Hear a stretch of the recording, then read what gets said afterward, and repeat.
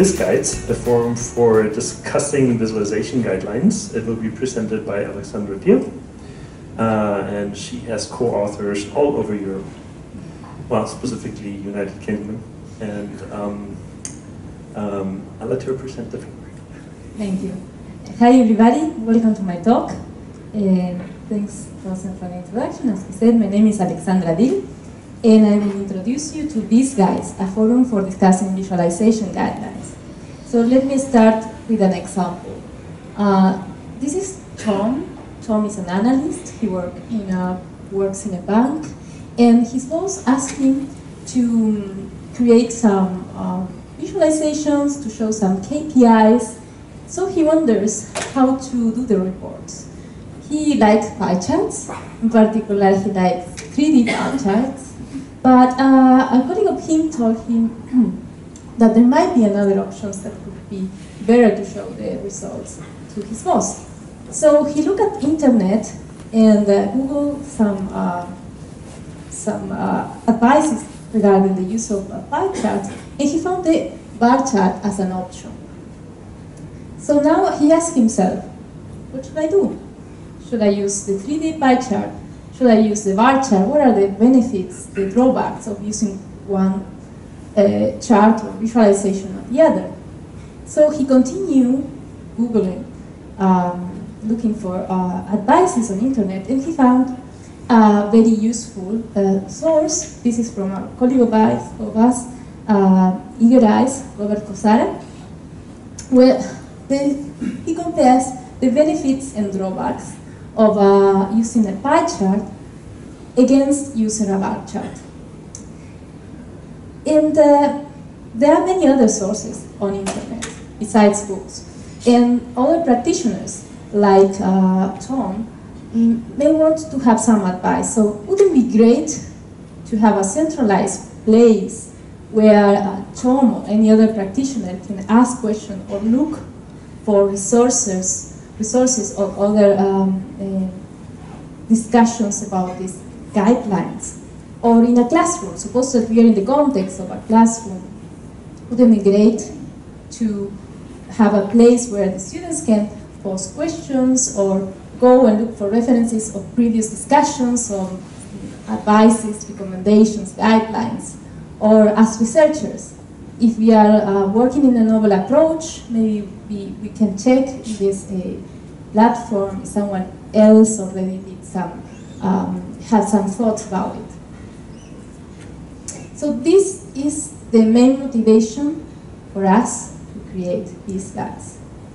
And um, this work started um, with a previous research from Min Chen uh, in his paper of 2017, uh, Pathways for Theoretical Advances in Visualization, where he defined a guideline. Basically, a guideline for us is something that helps you to define what to, to, to choose, what to avoid, what to do, but based on some wisdom, some uh, wisdom from previous experiences, knowledge, uh, etc. And examples of guidelines are, for example, good visualization should maximize the data-ink ratio. But is this guideline universal? What, what is the applicability of this guideline? Or this one, don't use, don't make users to do visual math. We have um, papers in the literature that, uh, the, from the visualization community, that have some um, visual math components. But the experts found it useful, and the user feedback was positive. So, in which, uh, which are the tasks or the context or the data in which those guidelines are applicable? The same with the information seeking mantra, which is pretty universal and, and well established. So those are the challenges that we want to discuss in our visualization forum discussion platform.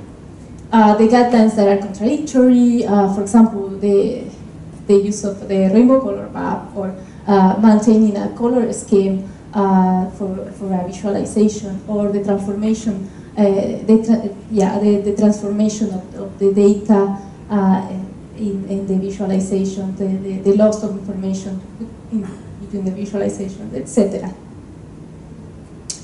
There are uh, guidelines that are in conflict, and uh, and also,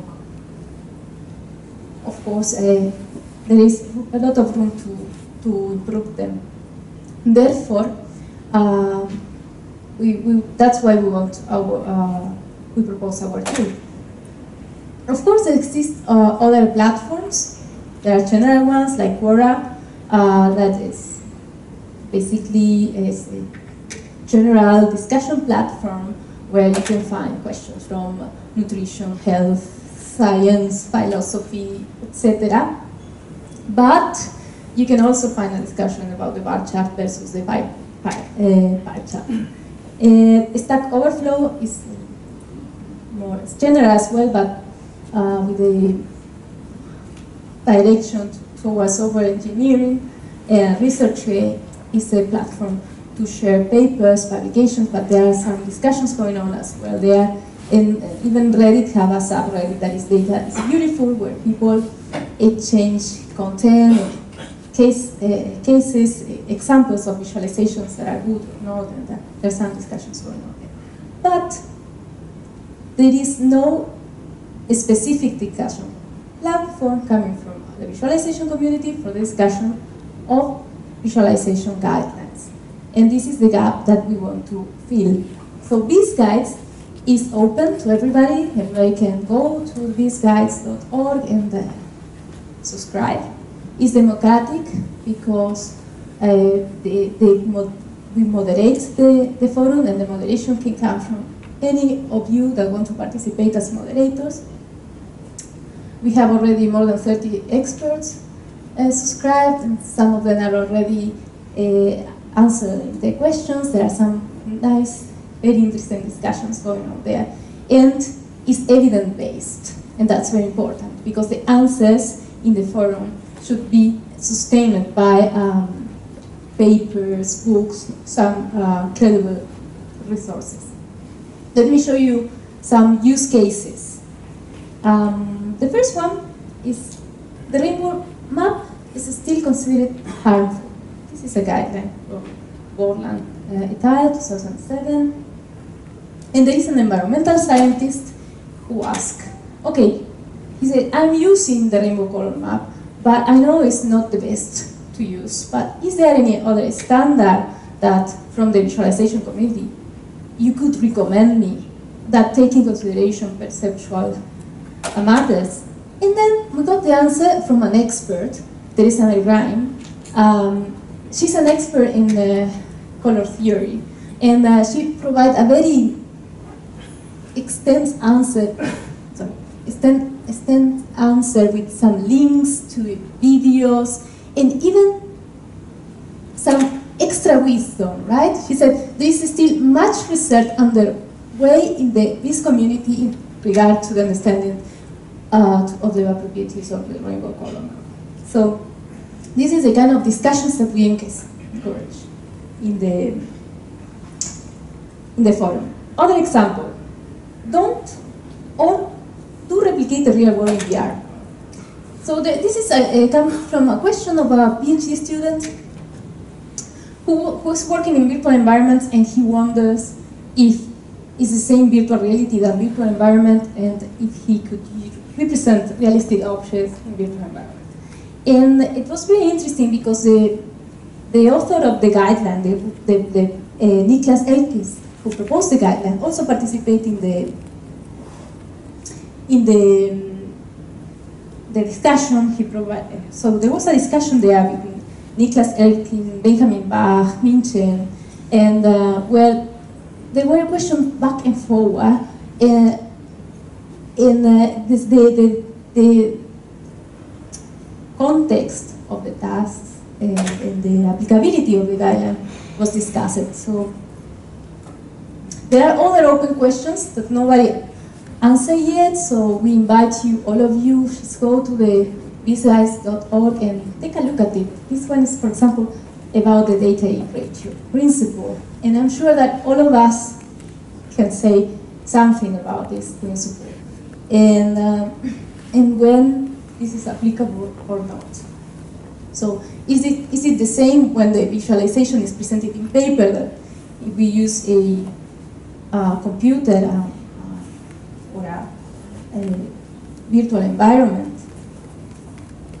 All in all, the outcome in the long run of VisGuides is a corpus of structured data like tags, users, um, discussions, the, the threads, and uh, hopefully in the future, uh, the, there will be possible also to analyze the, the different behaviors of uh, the, the dynamics of the discussions, and some topics will become more important than others, and that depends also on you, on your participation. So far we have visual design, and then from visual design now, this uh, virtual reality, virtual environment uh, subcategories taking more importance, so might be transformed to a um, category itself. And this is how the guidelines look. So for example, a guideline, guideline A can be uh, divided in several discussion threads. That's possible. Or can be contained in one discussion thread. All of that conform, conforms the evidence that we uh, want to use to ground the theory.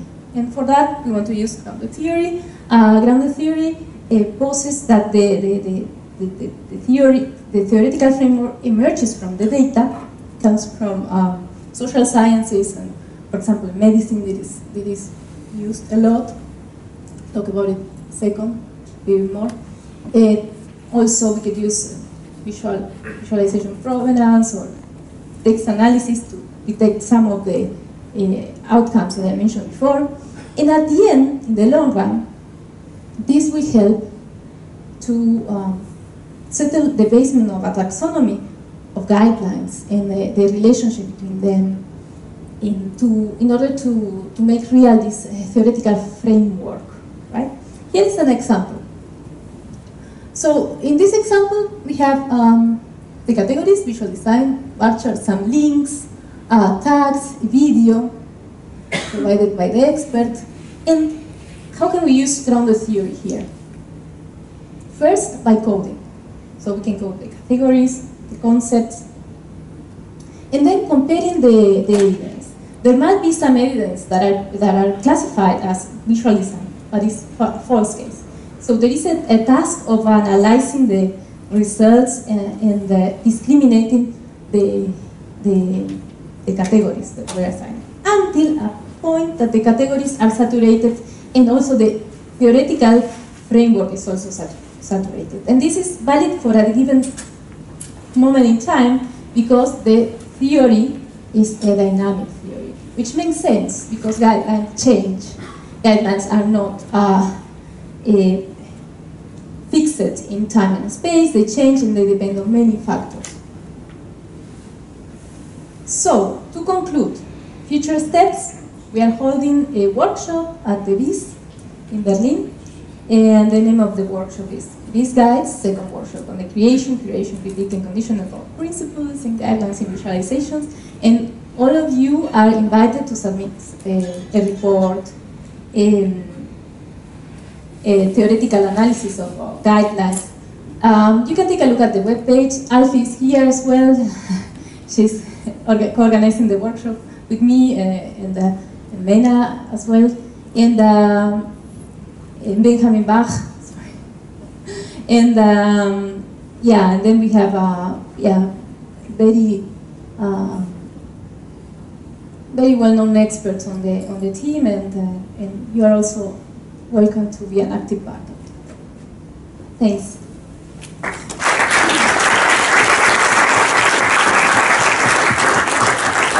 So there's some time for questions. Not all at once. uh, maybe I start with one. Um, so there was a recent Dutch Dagstuhl, and um, uh, we also talked about guidelines, taxonomies, all that fun stuff. And a smart person, and I don't recall the person's name unfortunately, put a comic uh, up. Had three pieces.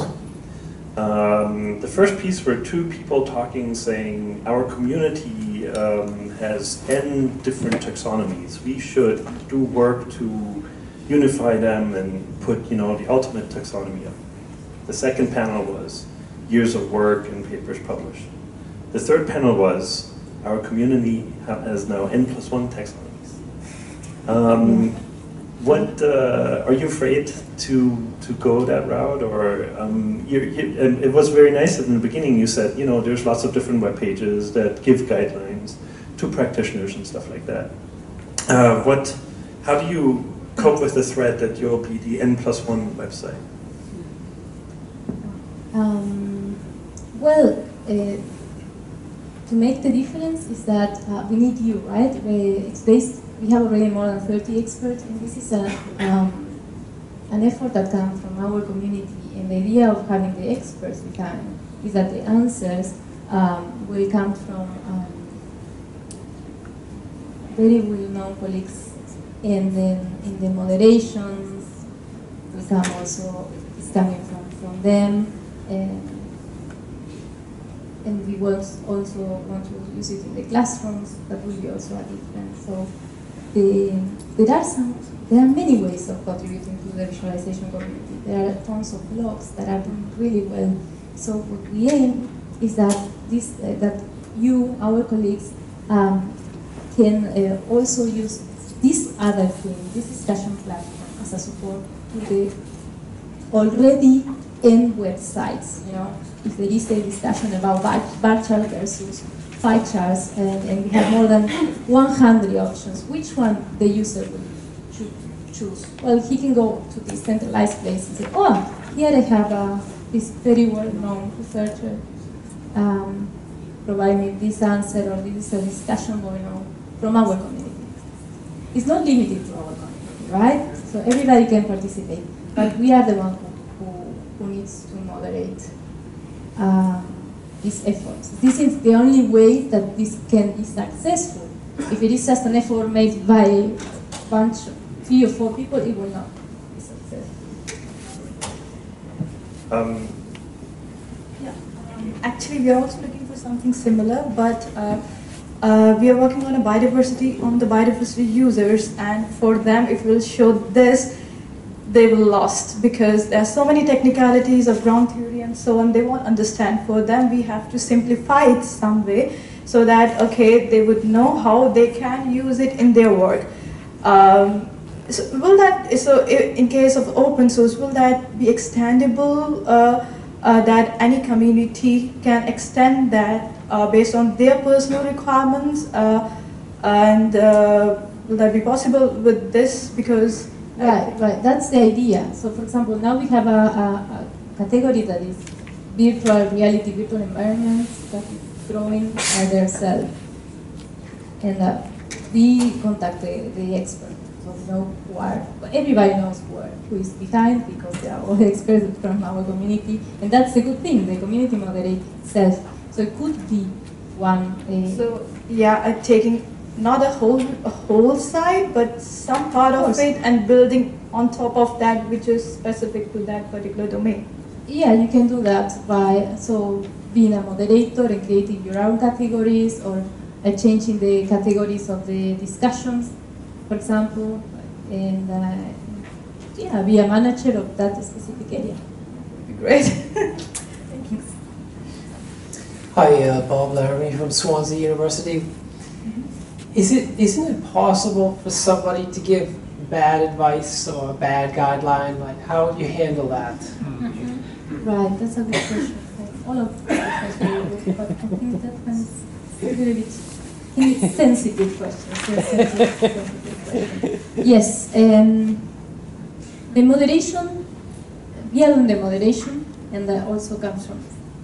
So far, we have three or four main moderators, but we need more from each specific sub area.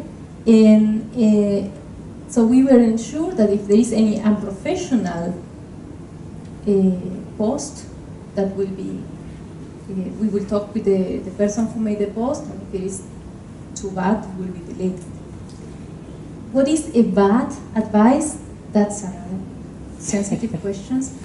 I think we are not holding it through. We, I, I wouldn't say there is something bad or good, but that's why we need a discussion.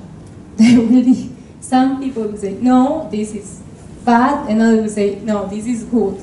And the, the thread uh, will be democratic in such a way that uh, if there is consensus, great, and if there is no consensus, to take the information We'll know that there is no consensus. Good answer. All right. Um, I think we should move on. Oh, there's one more question. Yeah. Okay, one more question and then we'll move on. Helwig Hauser, University of Bergen. Alexandra, um, can you give us an idea how vivid the VisGuides platform has developed? I mean, uh, how much uh, life is in there now? Yeah. How many guidelines are there? How many posts are there per day? How many viewers, I mean, distinct viewers do you have? Just give us an idea how vivid the, the whole activity Yes. is. So um, we didn't start officially yet, but uh, so we started like last year contacting some few experts, and then the, we published this um, short paper, and a few weeks ago, two or three weeks ago, we launched it unofficially, semi-officially launched. And so far we have more than 50, 50 uses, which is good in my opinion because it's not, as you might notice, we didn't um, publish it in any list yet. We will do that. Uh, we were taking care of all sensitive stuff like the GDPR, for example, before doing that. And um, we have more than 30 experts. There are uh, 10 to more than 10 to 15 questions. And the questions are not like every hour or per day because they, they come from people who has a specific problem. And to formulate the question is difficult. To formulate the answer as well is difficult. So the periodicity takes uh, between days and one week or even more. There are questions that are not even answered yet. So um, I think the growth is slow, but it doesn't matter as long as uh, uh, we use it. It will not be like Stack Overflow. Never, because the kind of questions that are posed and the kind of answers are more complex. That's my opinion. All right, let's. But one more thing, you can t- take a look at visguides.org and the, it's, everything is public there. You don't have to log in to see the information. All right, let's thank Alexandra for stepping up. And by the way, Alexandra took a picture of all of you, so if you're not showing up at the workshop, All right, and uh, she also made little nice little postcards for you to take home with the with the address on there if you're interested. Branches and southern homesteads, motels, hotels, but I've heard it said that home is where the heart is, meaning that tomatoes have.